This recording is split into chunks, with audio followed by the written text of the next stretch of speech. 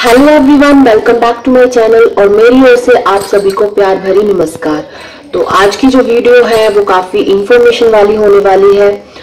I hope आप लोग अच्छे ही होंगे। तो आज की वीडियो में मैं आपको बताने जा रही हूँ कि how to do bleach on our face तो सभी को जैसे पता ही है कि ब्लीच कैसे करते हैं, कितनी अमाउंट इसमें यूज़ करते हैं।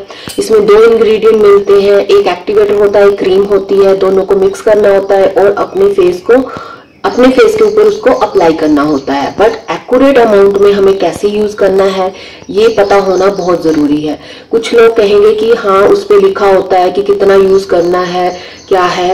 यस लिखा होता है बट सभी उसको करना ज़रूरी नहीं समझ अभी मैं आपको ये करके बताऊँगी कि कितना हमें यूज़ करना है, कितनी देर तक उसको रखना है और कब हमें अपने फेस के ऊपर अप्लाई करना है और कहाँ कहाँ अप्लाई करना है। कितने टाइम तक उसको अपने फेस के ऊपर रखना है। तो यहाँ पे मैं ब्लीच ले रही हूँ। ब्लीच कौन सी ले रही हूँ वो मैं रिकमेंड नहीं करूँगी क्योंकि मैं यहाँ पे किसी ब्रांड का प्रमोशन नहीं कर रही हूँ। सो so, इसलिए यहाँ पे मैं एक ब्लीच ले रही हूँ तो मैं उसकी अमाउंट आपको बताऊँगी कि कितनी यूज़ करनी है फेस के लिए कितनी चाहिए तो उसके हिसाब से मैं आपको बताती हूँ। चलो वीडियो को स्टार्ट करते हैं। बने रहिए मेरे साथ लास्ट तक। पूरी वीडियो देखिएगा। अगर आप मेरे चैनल पे नए आए हैं तो लाइक कीजिएगा वीडियो को subscribe to our channel also share it तो लेट्स गो स्टार्ट इट तो सबसे पहले आपको यहाँ पे एक बाउल चाहिए। बाउल क्लीन और ड्राई होना चाहिए, गीला नहीं होना चाहिए तो उसको ड्राई कर लेना। तो उसके बाद आप लोग एक क्रीम ब्लीच की क्रीम लेनी है। इसमें आपने दो स्पैचुला ऐड करने हैं, भर के। ये फेस के लिए काफ़ी है। दो स्पैचुला दैट्स इट इससे ज़्यादा अगर आप लेना चाहते हो, हाथों पैरों पे लगाना चाहते हो तो आप इसमें ऐड कर सकते हो. दो स्पैचुला के लिए हमें एक्टिवेटर चाहिए तो ये कितना डालना है हमने? ये दो पिंच डालना है, सिर्फ़ दो पिंच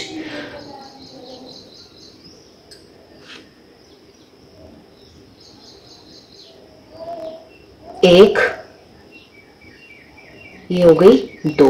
इससे ज़्यादा नहीं डालना है तो इससे क्या होगा, जो हमारी स्किन है वो डैमेज हो जाएगी। तो ये मैं रख देती हूँ साइड में। अभी इसको हम क्या करेंगे? मिक्स करेंगे। मिक्स अच्छे से करना है, ताकि जो एक्टिवेटर है क्रीम में अच्छे से डिजोल्व हो जाए।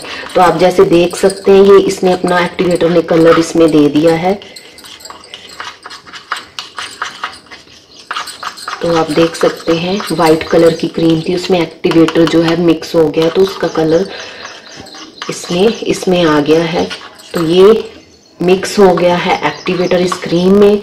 अब क्या करेंगे हम इसको? थोड़ा सेटल होने देंगे। इसको एज इट इज़ हम थोड़ी देर के लिए सेटल होने देंगे। दो मिनट तक इसको ऐसे रखेंगे क्योंकि जो एक्टिवेटर है वो डिजोल्व हो जाए तो जो उसका असर है वो हमारे फेस पे अच्छा आएगा। तो दो मिनट के लिए यहाँ पे हम वेट करते हैं। तब तक मैं आपको बता देती हूँ कि कहाँ कहाँ पे हमें अप्लाई करना है। तो अभी क्रीम को मैंने रख दिया है। तो दो मिनट के लिए वेट करेंगे अभी, क्योंकि वो अच्छे से डिजोल्व हो जाए। इसके लिए वेट करेंगे ताकि वो हमारी स्किन के ऊपर अच्छे से वर्क कर सके। अब हम डिज़ायर एरिया पे इसको अप्लाई करेंगे। उससे पहले आप अपने बालों को टाई अप कर लीजिए, क्योंकि बालों पे ना लग जाए तो उससे क्या होगा, जो हमारे बालों का कलर है वो भी चेंज हो जाएगा। तो हमें बालों को टाई अप करना है। बाल आपके फेस के ऊपर नहीं आने चाहिए तो हो सकता है तो आप बैंड भी लगा लीजिए। तो दो मिनट के लिए हम वेट कर रहे हैं। तो अभी हम क्या करेंगे, अपने फेस के ऊपर अप्लाई करेंगे। अप्लाई कैसे करना है? जिस साइड को हमारे हेयर्स की ग्रोथ है, नीचे को, उस साइड को अप्लाई करना है, ऊपर को अप्लाई नहीं करना है। ऊपर वाली साइड को अप्लाई बिल्कुल नहीं करना है। तो क्या होगा, उससे जो हमारे बाल हैं, उनकी डायरेक्शन है, वो भी चेंज हो जाएगी। और वो अच्छे नहीं दिखेंगे, ऐसे तीखे तीखे से फेस के ऊपर दिखाई देंगे। पोक जैसे हेयर होते हैं ना, वैसे दिखाई देते हैं। तो जिस साइड को हमारे हेयर्स की डायरेक्शन है तो उस साइड को हमने ब्लीच को अप्लाई करना है। तो दो मिनट हो चुके हैं तो अभी मैं यहाँ आपको अप्लाई करके बताऊँगी कि कैसे करना है। तो जैसे आप देख सकते हैं, सबसे पहले अपने फेस को क्लीन करना है, अच्छे से फेस को धोना है वॉश कर लेना है। वॉश करने के बाद आपने अपने फेस को ड्राई कर लेना है। ड्राई करने के बाद आप ये ब्लीच को अपने फेस के ऊपर अप्लाई कर सकते हैं। तो अभी मैं अप्लाई करूँगी। जो ये वाले हेयर्स होते हैं तो इन सारे हेयर्स को आपने ब्लीच नहीं करनी होती है। कुछ लोग क्या करते हैं, यहाँ यहाँ तक ब्लीच कर लेते हैं, वो बहुत गंदा नज़र आता है। तो ये जो हमारे हेयर्स होते हैं तो यहाँ से हम इस डायरेक्शन को करेंगे। अभी मैं आपको लगा के दिखाऊँगी। नीचे की डायरेक्शन हेयर्स की ग्रोथ है, उस साइड को ही आपने अप्लाई करना है। यहीं से स्टार्ट कीजिएगा, क्योंकि ज़्यादातर ब्लीच मेन बनी होती है इन इन इन पार्ट्स के लिए। इन पार्ट्स के लिए और जो हमारा फोरहेड उस पार्ट के लिए, यहाँ पे भी हमें अप्लाई नहीं करना है। तो अभी मैं आपको बताती हूँ कि कैसे अप्लाई करना है। जैसे कि आप देख रहे हैं, मैं कैसे लगा रही हूँ, किस डायरेक्शन में लगा रही हूँ। तो उसी डायरेक्शन में आपने अप्लाई करना है।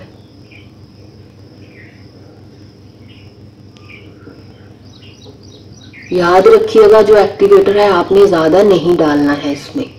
तो उससे क्या होता है, क्योंकि इसमें केमिकल्स होते हैं तो उससे क्या होता है, जो हमारी स्किन है, वो डैमेज हो सकती है।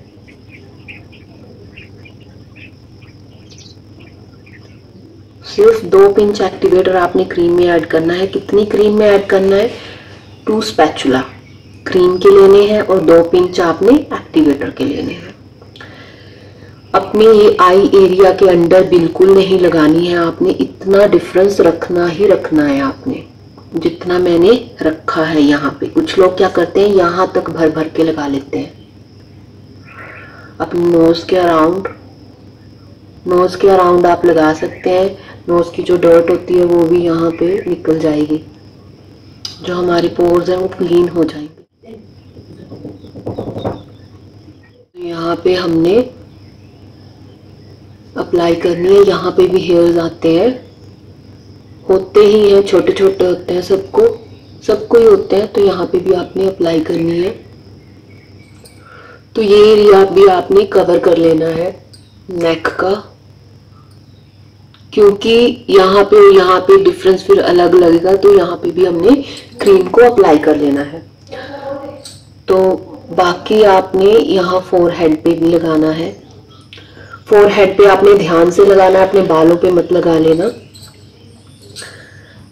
तो ये हो गया हमारा फोर हेड ध्यान रखिएगा कि ध्यान से लगाना है। ये आईब्रो के ऊपर नहीं लगाना है, इससे थोड़ा डिफरेंस रख के लगाना है।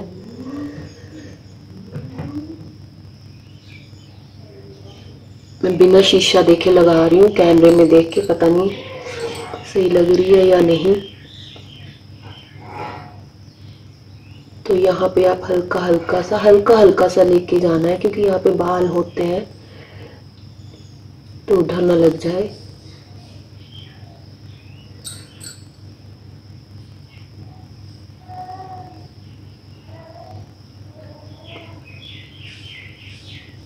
यहाँ पे भी आराम से लगाना है आपने, ताकि आपके बालों पे ना लग जाए। तो आपने क्या करना है? नेक पे जो पार्ट आपका बच जाता है ब्लीच का, उसको आप अपने हाथों पे, पैरों पे भी लगा सकते हैं। क्योंकि ये एक तरह से क्लिनजर का भी काम करता है, जो इसमें एक्टिवेटर है, वो हमारे जो बाल हैं, उनका कलर जो हमारी स्किन से मैच करवाता है एक्टिवेटर ज़्यादा ऐड करने से वो बाल वाइट हो जाते हैं। वो स्किन से मैच नहीं कर पाते तो हमारे फेस के ऊपर बड़े अजीब से नज़र आते हैं तो इसलिए उसको सही अमाउंट में ही ऐड करना चाहिए। तो ये मैंने ब्लीच लगा ली है। अब मैंने इसको रखना है 10 से 15 मिनट। इससे ज़्यादा नहीं रखना है, इससे कम भी नहीं रखना है। तो इसको रखने के बाद मैं आपको अपना फेस वॉश करके दिखाऊँगी कि आप मेरे फेस के ऊपर फ़र्क देख सकेंगे कि आपने पहले का फेस मेरा देख लिया है। अभी इसके बाद आप मेरा फेस देखेंगे कि आप देख सकेंगे कि फेस के ऊपर जो है वो नेचुरली ग्लो सा नज़र आएगा और जो ब्लैकनेस नज़र आ रही थी, वो भी थोड़ी लाइट हो जाएगी, दाग धब्बे भी कम हो जाएँगे। ये होगा इस ब्लीच की, इस क्रीम की वजह से एक्टिवेटर की वजह से जो हमारे फेस के हेयर्स हैं, वो ब्राउन हो जाएँगे, हमारी स्किन के कलर के हो जाएँगे। तो याद रखिएगा कि एक्यूरेट अमाउंट लेनी है इसकी। तो अभी 10 मिनट का वेट कर लेते हैं तो मिलते हैं 10 मिनट बाद। तो बने रहिए। तो यहाँ पे मैंने अपना फेस वॉश कर लिया है तो आप डिफरेंस देख सकते हैं। अभी का फेस मेरा और पहले का फेस काफ़ी चेंजेस है। जो मेरे हेयर्स थे यहाँ पे ब्लैक ब्लैक से वो ब्राउन हो चुके हैं और जो दाग धब्बे थे वो भी काफ़ी हद तक लाइट हो चुके हैं। तो ये प्रिकॉशन है 10-15 मिनट बाद धोने के बाद अपने फेस को अच्छे से साफ़ करके वॉश कर लीजिए और उसके बाद आपने कुछ भी अप्लाई नहीं करना है अपने फेस के ऊपर, ना सोप लगाना है, कम से कम आपने 24 घंटे ऐसे ही अपने फेस को रखना है और सिर्फ़ सादे पानी से धोना है। गर्म पानी नहीं यूज़ करना है नॉर्मल पानी से अपने फेस को धोना है। तो ये है accurate amount how to do bleach on our face अगर आपको ये वीडियो अच्छी लगी हो तो वीडियो को लाइक कीजिएगा कमेंट करके ज़रूर बताइएगा कि कैसी लगी आपको ये video. Also subscribe to our channel thank you so much तो मिलते हैं अगली वीडियो में किसी और इन्फॉर्मेशन के साथ.